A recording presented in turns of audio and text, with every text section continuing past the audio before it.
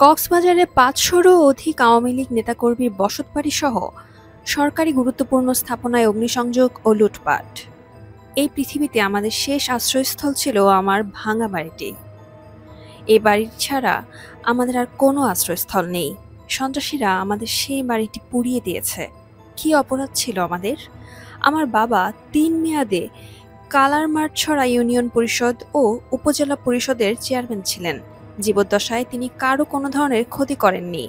সন্ত্রাসীরা আমার বাবা আটাত্তর বছরের বৃদ্ধা মানুষকে লাঞ্ছিত করেছেন।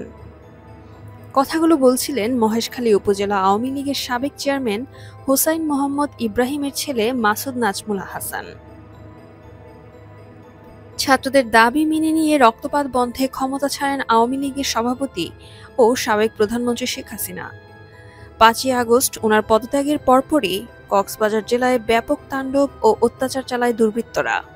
রোববার পর্যন্ত কক্সবাজার জেলায় অন্তত পাঁচ শতাধিক আওয়ামী লীগ নেতাকর্মী, সরকারি অফিস আদালত, সাংবাদিক ও সাধারণ মানুষের বসতবাড়িতে হামলা, ভাঙচুর, অগ্নিসংযোগ ও লুটপাট করেছে সন্ত্রাসীরা।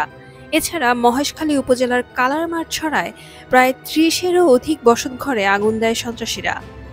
এদিকে কক্সবাজার উন্নয়ন কর্তৃপক্ষ পরিবার পরিকল্পনা অধিদপ্তর, সার্কিট হাউস ও রাতে ইনানি রেঞ্জ অফিসে গেটের তালা ভেঙে স্টাফদের অস্ত্রের মুখে জিম্মি করে পাঁচটি ট্রাক ও মিনি ট্রাক নিয়ে যায় সন্ত্রাসীরা।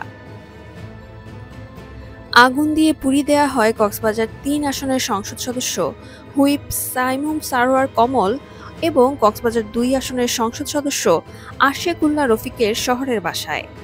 কক্সবাজার সদরের ঝিলংজা ইউনিয়ন আওয়ামী লীগ সাধারণ সম্পাদক কুজরতুল্লাহ শিকদারের বসতবাড়ি পুড়িয়ে দেয় সন্ত্রাসীরা। এ ঘটনায় তার এক কর্মীর স্ত্রীকে কুপিয়ে হত্যা করা হয়।